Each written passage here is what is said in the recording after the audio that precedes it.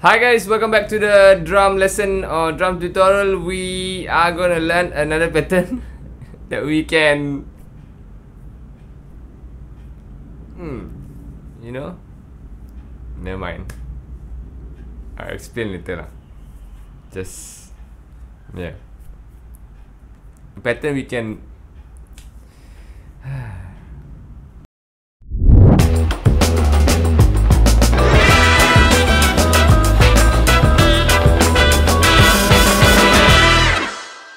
Hi guys, welcome back to my drum tutorial and in this lesson we are gonna learn a new pattern and we are gonna okay? I'm not gonna repeat the whole thing saying yeah, yeah play in many ways as possible. I guess you guys got uh, I guess you guys you guys get the idea lah okay?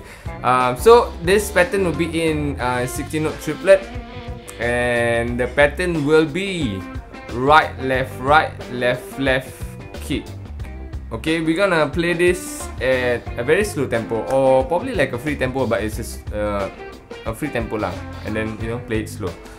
Um, yeah, let's check it out. Playing it on the snare only at a free tempo.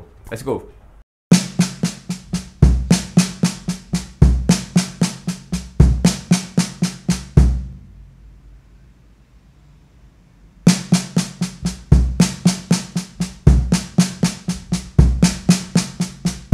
Okay guys, that will be our main um, pattern that we're gonna use and all you have to do now is to move your hand around the kit.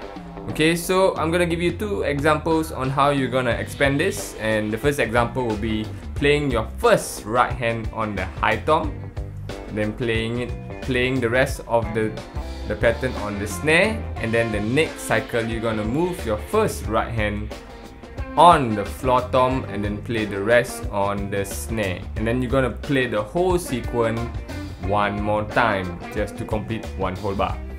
Okay we're gonna check this out at again a, a free tempo. Uh, playing this slowly. Mm, let's go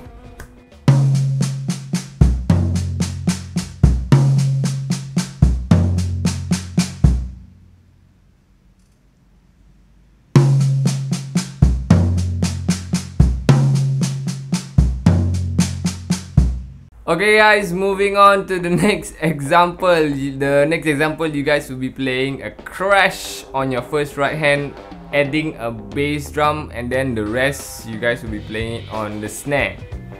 Okay, you're gonna repeat the whole cycle three more times just to complete one whole bar. Okay, as you guys repeat the cycle, right, you guys will be playing a double on your bass drum. So take note. Okay, we gonna check out this clip at a free tempo. Slowly. Slowly, ah. Huh? Okay. Let's check it out.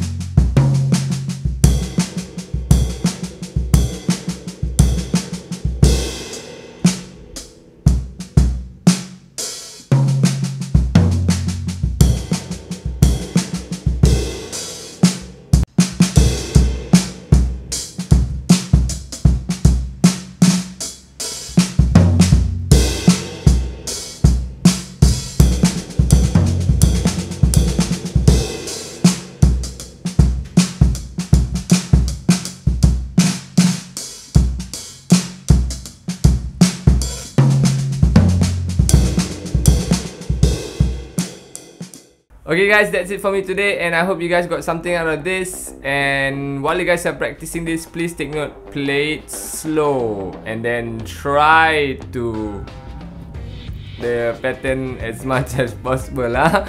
Okay, you guys got the idea, right? Okay, um, so yeah, thank you very much for watching and I'll see you guys in the next one.